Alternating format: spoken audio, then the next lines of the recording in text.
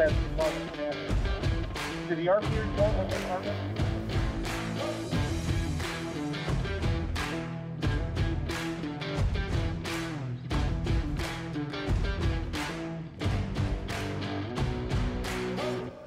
Engine 23, tower 45, medic 23, engine 33, engine 15, medic 33, BC1, safety 35, respond 1234 Plaza Drive on a confirmed multi-family structure fire, timeout 1057. Battalion 1 dispatch. Battalion 1. Just called in by the uh, apartment owner. She was on the first floor. Said uh, she came down the hallway, her kitchen, fully involved.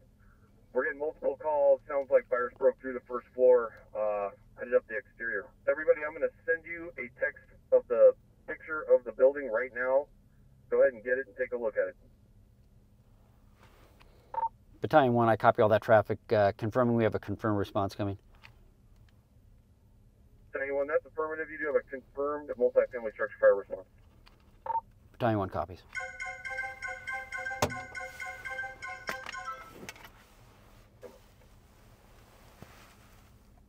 So fire shown from the first floor auto exposing the second. That's what it looks like. That's correct. All right, YouTube, this Fleet Friday starting out a little bit different. As you already noticed, you could hear this training dispatch for a confirmed residential structure fire. I'm riding along with Battalion Chief Mike Gilbert today to check out the new Battalion Chief 1 pickup truck. What a better way to get a look at how battalion chiefs at South Metro operate than to see it firsthand at a training, and this is exactly how things would go at a real structure fire as well.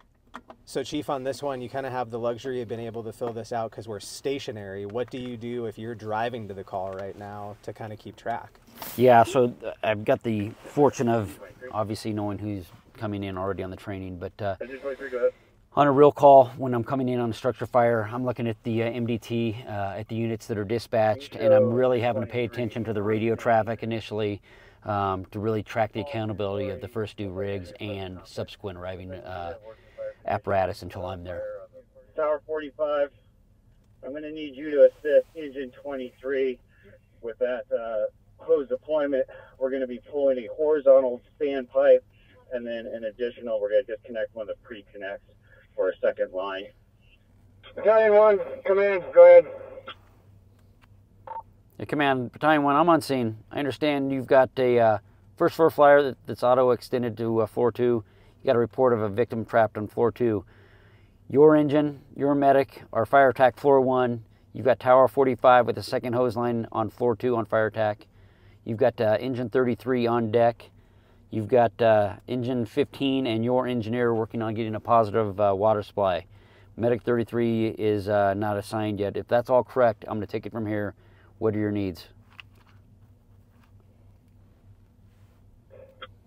That is correct, Steve, and I was getting ready to assign engine 33 to assist Tower 45 with that fire attack and search on that second floor. Okay, break. I'll take command from here. Break engine 33 from command. A 33. Need you go to floor 2, work with Tower 45 and locating that uh, trapped victim.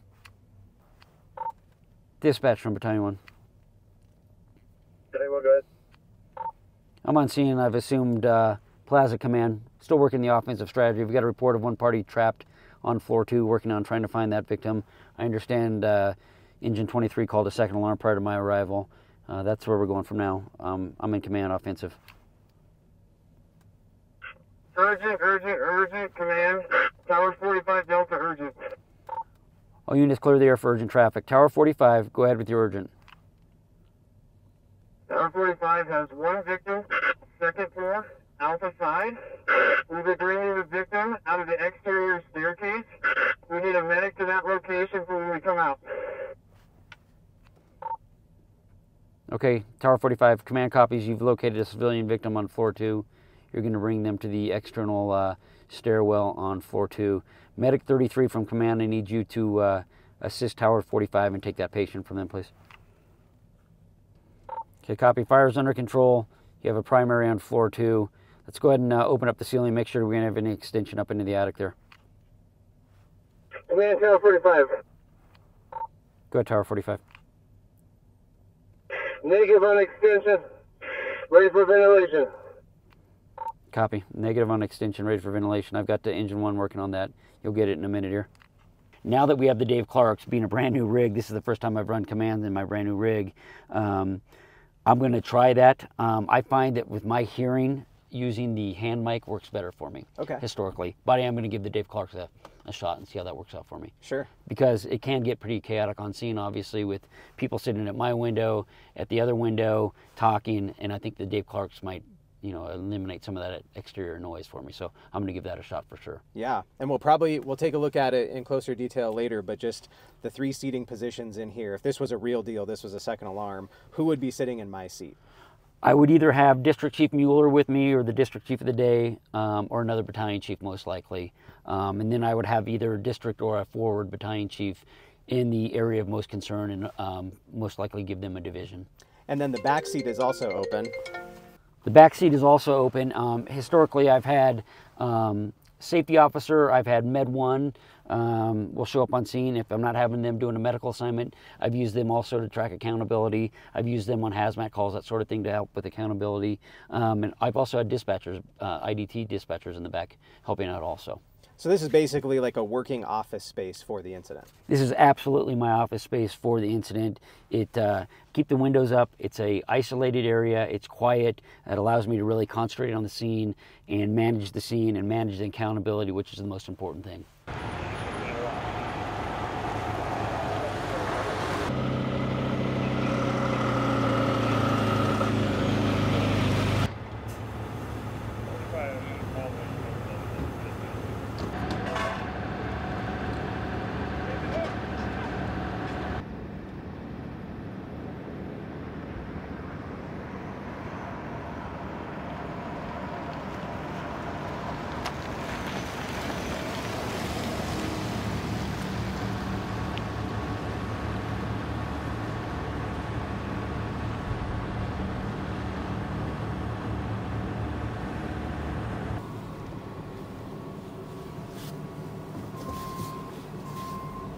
Dispatch from Plaza Command. Did the RP report which department? Uh, from dispatch, we've had multiple calls uh, from the floor below. Command from Battalion 1. Battalion, one, go ahead. I understand you've got a uh, working fire on floor 7. You're in the process of getting a uh, hose line up to the seventh floor using the uh, standpipe system. Uh, your engine is establishing a uh, positive water supply. You've got Tower 45's crew assisting with you and Med 33. Is that all correct? If so, I'll take it from there.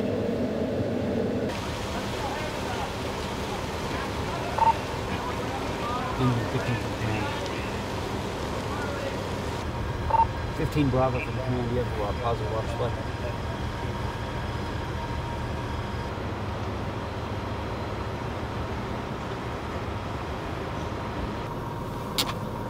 Command, go ahead. Yeah, let me know when I get some second alarm resources uh, on scene. I need them uh, to meet my location. Yeah, copy that. You're going to get engine 1, engine 2, and tower 1. Command, Division 7. Division 7, go ahead. Confirming you need two additional suppression units. That's A for MC, and also if we can make sure that we have uh, medical transport unit that's going to be available for us. Your uh, suppression units uh, ready. You're going to get engine 2 and tower 1. Division 7, Tower 45. Okay, Tower 45, I copy. Primary is complete in the fire unit. All right, Chief, thanks for letting me uh, hang out with you at training to see how everything works inside the truck from the incident command perspective. Um, now I'm sure everybody at YouTube would love to see the light package on this thing and have how you have all of your equipment set up. So let's take a look. Sounds great. All right. All right, so the first thing I noticed, Chief, as we look down here, there is a whole lot more going on than the standard F-150 has. Can you kind of walk me through uh, the buttons and the radios and what all that means and what all it does? Yeah, absolutely. So this is a uh, big upgrade um, from what we used to have in the old Battalion 1 vehicle. Um, this is the latest and greatest uh, for lights and sirens. Um, the I've already noticed uh, running at night that the visibility and um, how uh, bright I am is, is increased tremendously compared to the old Battalion 1 vehicle. Um, so we've got a bunch of different lights here. Uh, obviously the light bar, we've got a three-phase switch here um, that can operate front lights, um, go to a second and you get the back and going to the third phase operates all the emergency lighting on the vehicle. Um, in, on top of that, obviously, we've got a lot of different buttons here. Um, we have different sirens, of course, which is the same as, as previous uh, Battalion 1 vehicle. But uh, we've got in, an upgrade in our alley lights, both left side. So if I hit the left alley light, obviously I, I can light up the scene on the left side of the uh, rig and likewise on the right side, which is a big upgrade for us because the old one, I, I really didn't have much alley lights. Uh, it's really helpful at night when I'm looking for addresses, something like that. Um, so it's a great upgrade for us. Um, the radios, I have uh, two uh, mobile 800 radios here. Um, and I'm not sure if the camera can pick it up or not, but uh, the way I do it at least um, for me is uh, I have my main radio um, set for South Metro's dispatch. Uh, I get I scan, so I get both the uh, channel one, which is the the channel that we dispatch on, and then um, when I go uh, responding on channel two, I also have that uh, on so I can uh, not miss a call. Uh, South Metro, obviously, and then my upper radio, I always put on. Um, whatever law enforcement agency I happen to be, if I'm in Battalion 1, I keep it on DCSO. Um, if I run to Jefferson County, I switch over to Jefferson County. Um, I've found over the years by scanning law enforcement's channel, I oftentimes I get a lot of information um, from their dispatch center that may not have made it to our dispatch center. And when I'm en route, it helps uh, in making um, tactical decisions. So that's why I run those. Um, and on this, the lower radios are our VHF radios. Um, previous Battalion 1 rig, we had one mobile uh, VHF and we had a portable that was also mounted in the cab here. Uh, upgrade for us now, we have um, two mobile VHF radios. Um, super helpful, obviously, when we're working with the Forest Service, when I go up Waterton Canyon and we're working at mutual aid with West Metro ourselves, Forest Service, West Douglas. Uh, it just gives us capabilities. Um, the 800, we lose um, communications um, about a mile up Waterton Canyon, uh, but with the VHF radio, uh, it enables us to have solid comms um, when working up in the canyon and in other areas of our district too. Uh, West Douglas, if we pop a wildland fire for working with Forest Service and we get in uh, areas there where we have poor communication and coverage with the 800s, we can use a VHF there also. Um, I will highlight one thing on the uh, light bar here that I didn't hit is the, uh, the beacon switch. Um, that illuminates a green light on the roof of uh, the rig here. Um, when I activate that, that's an indicator for um, units operating on scene, other fire departments, police, etc., that this is the vehicle that is in command. Yeah, so one of the new features on the um, sirens with the new Battalion 1 vehicle is a feature that's voice message. Uh, I hadn't ever heard of this, and Matt West, who did a great job putting this uh, rig together for us, um, was explaining to me that they're pre-programmed voice messages. I believe there's seven of them, and it talks about evacuating um, for a fire, it talks about tornado uh, warnings, it talks about weather warnings, that sort of thing. So um, it's a pre-programmed message that if I hit a button, will continue play on a loop over and over again, and it's quite loud, and I can demonstrate that if you'd like. Yeah, let's do it. All right, here we go. Fire warning. Evacuate the area immediately. Fire warning. Evacuate the area immediately. Enter. So This area. I need to scroll all the way through in order to get it shut off, and it goes through the seven different uh, messages. Here we go.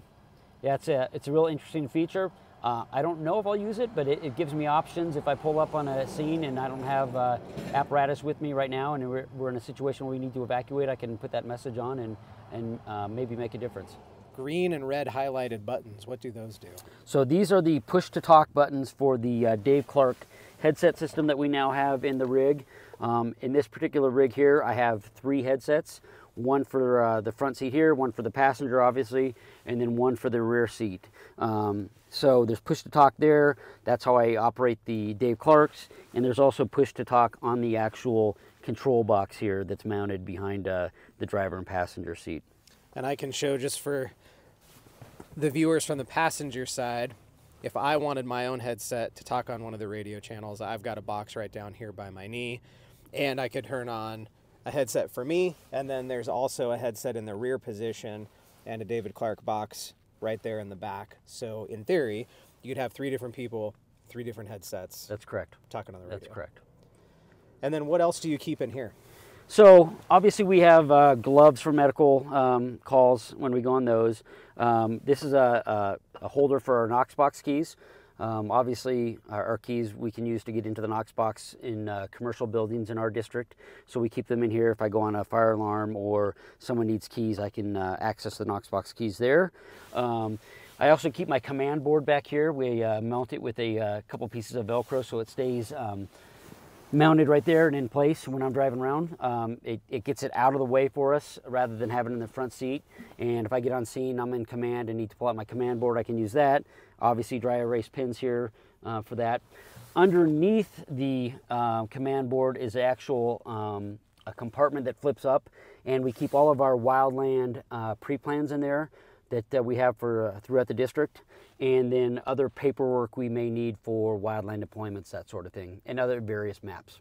We've got several maps in there. Uh, the department's done a really good job of mapping areas in our district that have a high likelihood of a wildland urban interface fire.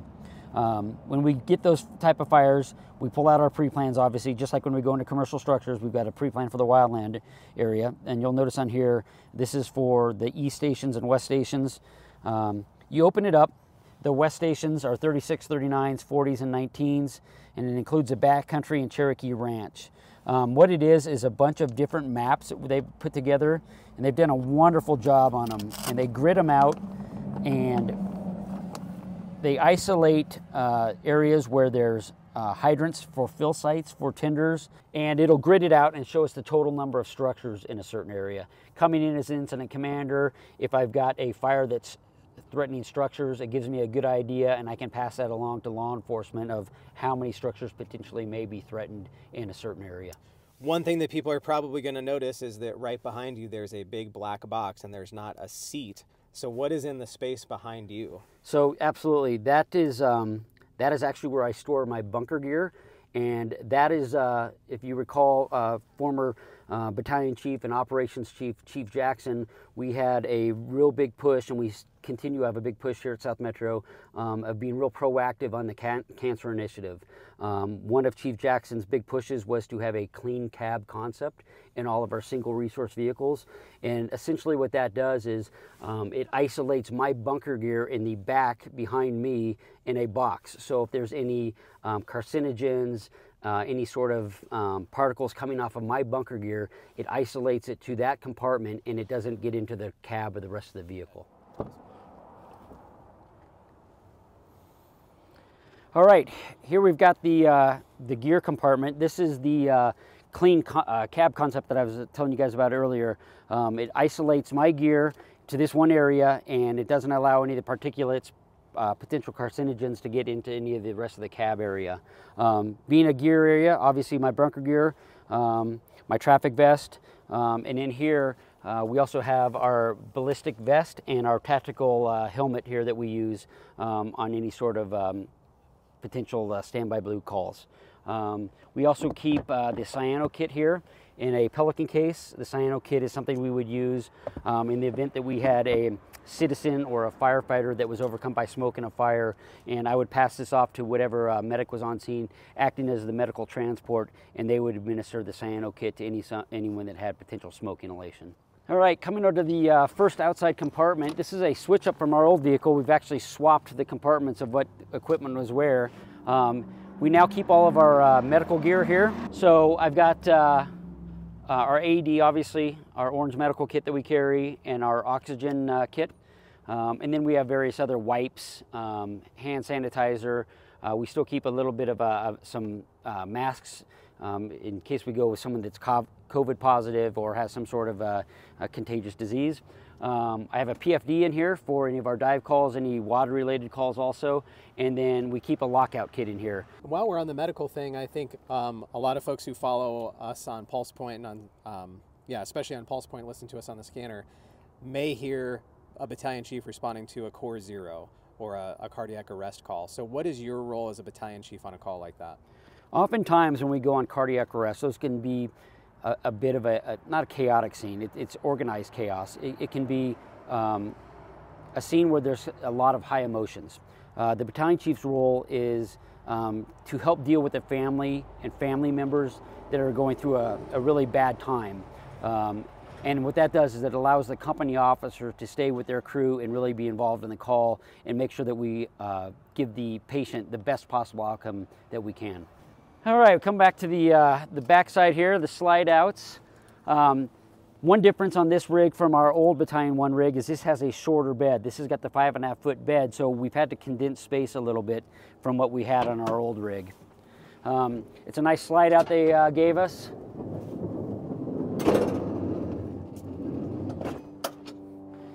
So starting up top, uh, obviously we've got uh, flashlights mounted. Um, we've got a uh, extinguisher over here, a dry chem extinguisher that we keep in case we come across a car fire, or something like that. And then on the far side, we have bolt cutters uh, mounted. We've used those in several occasions where we're trying to access some of the um, trails where people ride bikes, etc., and we can't get a frontline engine or an ambulance in there. They'll send my rig because I have access, and we can cut locks or a, a fence, something uh, for access reasons. Um, hydration, obviously, as we know, is, is a big thing for firefighters. Um, we really push hydration here. And when we go on fire incidents or summertime when we have long drawn out incidents in periods of hot weather, um, having hydration for all the firefighters is, is imperative. So all battalion chief rigs, all safety rigs uh, carry a cooler. Currently we're moving to electric coolers, um, which enables us to have uh, cold water at all times for our folks. Um, this is an old school Yeti where we still have to change out the ice packs. Um, they're going to change to electric cooler for all, all the uh, rigs moving forward. Uh, we carry wildland gear here. Uh, in Battalion 1, we have a lot of urban interface areas. Um, so we have the Battalion Chief uh, web gear, uh, helmet, a wildland helmet, wildland web gear um, in the orange bag. And then we have three sets of uh, spare wildland gear to give if there's um, um, crews that need uh, extra gear. They're running heavy on a rig and don't have enough on their rig, so we keep spare gear. What you won't see right now is uh, extra tactical gear. We usually carry extra tactical gear, which is, which is the ballistic vest and helmet, like I showed you earlier. Um, because we're riding four and five people right now on most of our frontline rigs, all of our extras are lent out to uh, frontline rigs. So we'll get those back and eventually be carrying those also. Uh, here, obviously, I need an SCBA. This is my SCBA here. We keep it in a mounted bracket that's locked up to prevent it from coming out when we're driving around. Um, we have one spare air cylinder that we get also. And then uh, our new thermal imager cameras, which I'm sure you've all seen. So um, keep one of those also. Some people might be wondering why a battalion chief would need an air pack when you sit inside the truck. Yeah, so anytime we go on a confirmed incident, a confirmed structure fire, we send two battalion chiefs at minimum. Uh, oftentimes the district chief will also add themselves to the call. Um, when we get on scene there, the first due, uh, first due battalion chief will be in command and will stay in their truck. Oftentimes, the second battalion chief will be given a division role, and that requires them to go inside structures. So obviously, we want to wear the full PPE just like every other firefighter, including our SCBA. I just keep a personal bag. Oftentimes, uh, we come to work, we don't know what we're going to be faced with. Um, in the summertime, we go on uh, wildland fires, and we could end up in Boulder County. We could end up down in Colorado Springs. We never know where we're going to end up. Um, we need to be self-sufficient for up to 24 hours. So I carry a little bag here that has extra socks, an extra T-shirt, that sort of thing, protein bars, um, just in case I get sent out of district. Hand tools, we keep a uh, Halligan for sure. Uh, it's important for us if we are given a divisional role and we're going into a fire structure um, to have a way in and a way out. And obviously everyone should have a hand tool, including battalion chiefs. We keep a Halligan here. This is a uh, combi tool. This is used on wildland incidents. Um, so if you're given a divisional role in a wildland incident, same thing. You want to have a hand tool in case you come across any sort of fire um, so you can scrape uh, fire, help put, extinguish any fire you come across. Um, and then this is just a box we keep with um, tire chains, some ice melt, um, a portable uh, charger for the battery, a tow strap, and then different scene tapes that we keep. In the back, we also have a, uh, a water can, uh, water extinguisher that we'll keep here, pressurized water extinguisher. Um, same thing in case we come across a fire, That way we have uh, means to put any sort of fire out.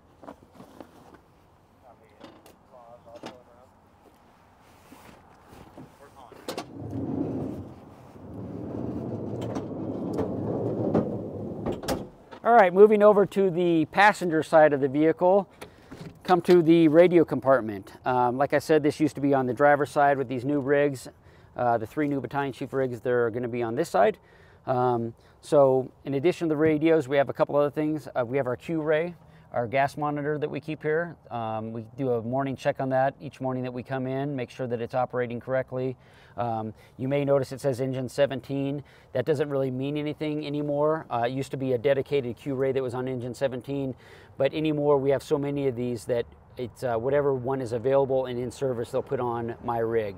Um, if anyone in my battalion would have one of theirs go out of service, I act as the spare. I will give it to the frontline rig. For example, Tower 18, if they would lose theirs, I would give them a QRAE and I'd run with that one. Statistically, I don't need it uh, as much as the rigs do.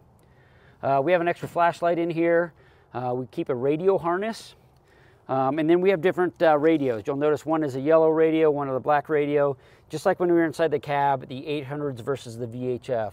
The black radios are the VHF that we'll use on primarily wildland incidents or incidents where our 800 com uh, comms aren't working real well. We'll use the VHF. So I've got two portables here with a couple spare batteries. Um, and then the yellow or lime green radios are our 800s. So I've got a couple spare radios. I've got one lin out right now to another station, and then we keep spare batteries, obviously, also for the uh, 800s. Um, our masks, um, our masks have Bluetooth in them now. Uh, it's a great upgrade and, and, has really improved our communications overall. Uh, those require a battery, so we keep a, a, charger and two spare batteries for our masks in the battalion rig also. And then, of course, our thermal imaging camera um, is a battery operated also, so we have two spare uh, TIC batteries and a charger there. All right, Chief, thanks for letting me hang out with you today and take a look at the brand new Battalion Chief 1 rig. Um, I think it's probably eye-opening for a lot of people to see. There's a really funny stand-up comedian video about the fire SUV, and it's just the person that says, hey, put water there, put water there, but there's a lot more to the job, I think. I appreciate it, Eric. Thanks for coming out today and taking a look at the uh, new BC1 rig. And thank you, YouTube. We'll see you in the next video.